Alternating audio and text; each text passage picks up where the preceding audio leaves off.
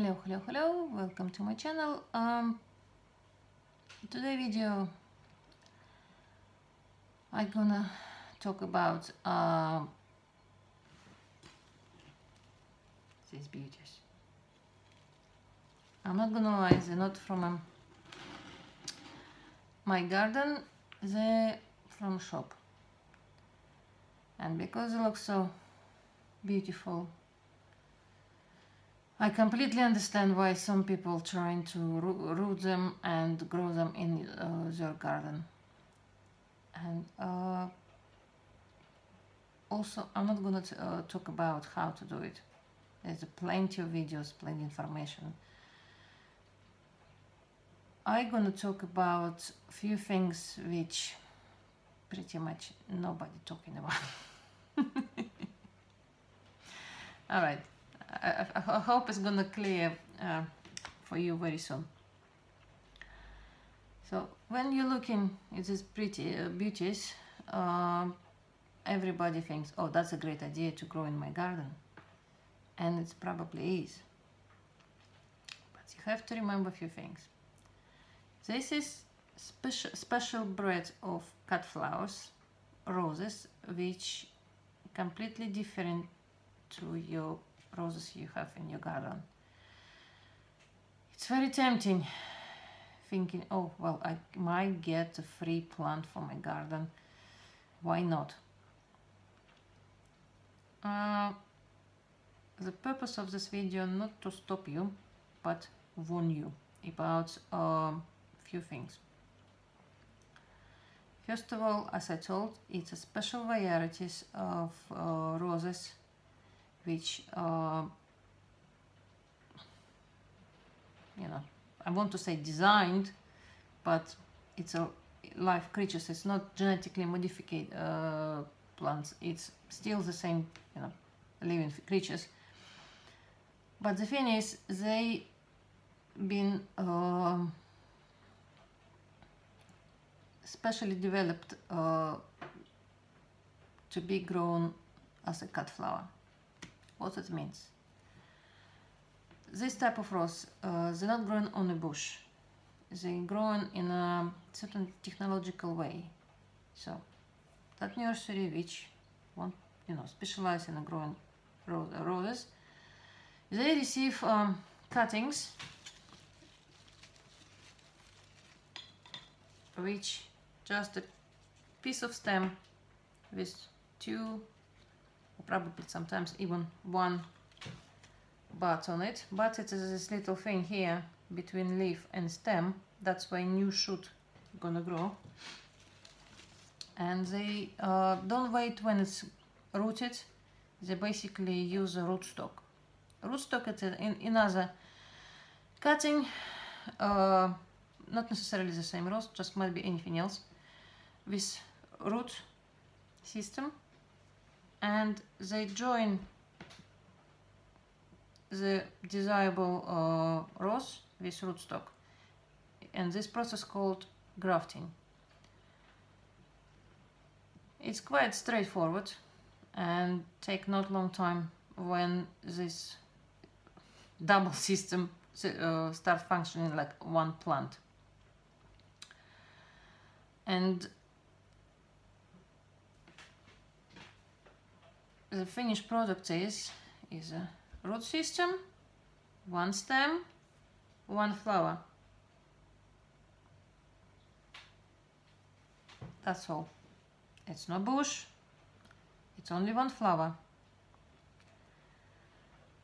So, uh, when you're planting uh, rose, which is this rooted beauty, you have to remember that's it's more likely gonna grow like one stick one stem one flower. If you want uh, more flowers from it you need to create nice structure of stems by uh, just trimming that just one uh, single stem. You trim it on top leaving few buds on it and because you cut the uh, point of growth that's going to be triggered and you get second or third uh, stems on it. Another, and in this way you would eventually will grow bushy plant with more flowers on it. Another thing is you need to remember that uh, it's commercially grown. So they've been heavily fed, give a lot of nutrition to grow fast, to grow strong, to grow beautiful. Which means when you have your plant in your garden, you have to do the same. Second of all, uh, they've been treated with pesticides and uh, any other chemicals which prevent any disease.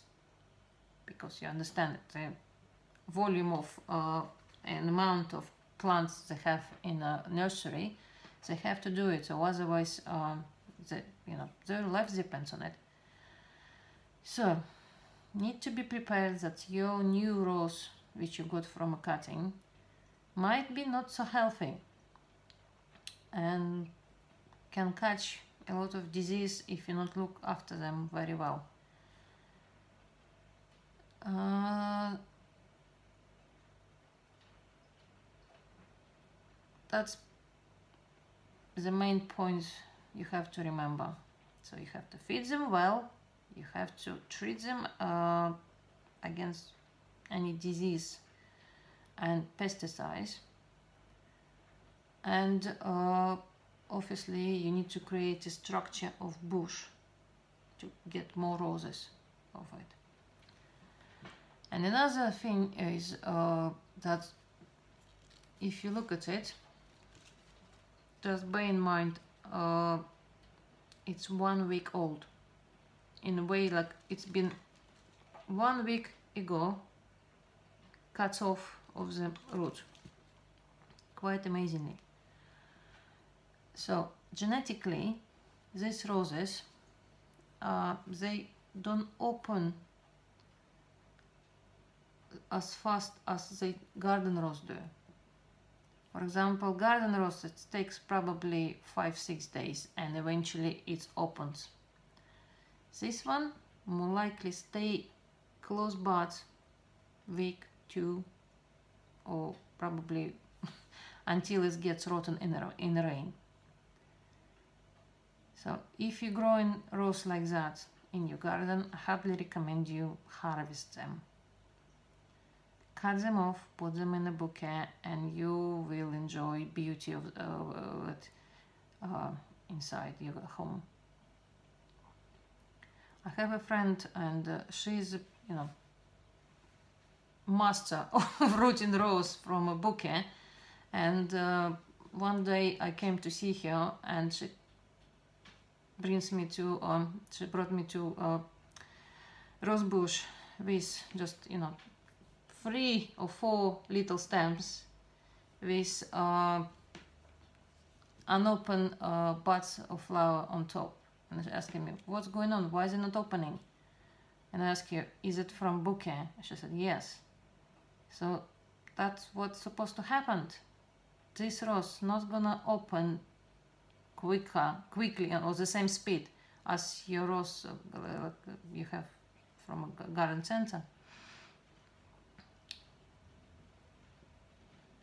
I hope I didn't put you off, of uh, you know, try to root them, but I just wanted to warn, uh, to warn you that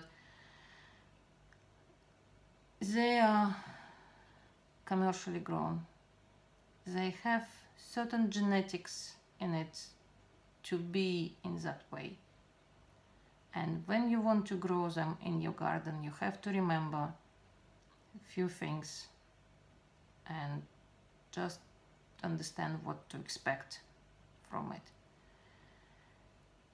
Again, you need to feed them well, probably even more than your normal garden roses. You need to uh, sacrifice first flowers to create a nice structure. So they're not looking just one stick with one flower on top. You need to look after them and protect against diseases and pesticides and pests. And obviously you need to cut them off as soon as um, buds got color on it this way you can enjoy them and not get disappointed. I hope this video was hel helpful and handy. If you got any questions or any ideas or your experience uh, about with uh, your experience with um, rooted roses from bouquet please let me know in the comments. Thank you very much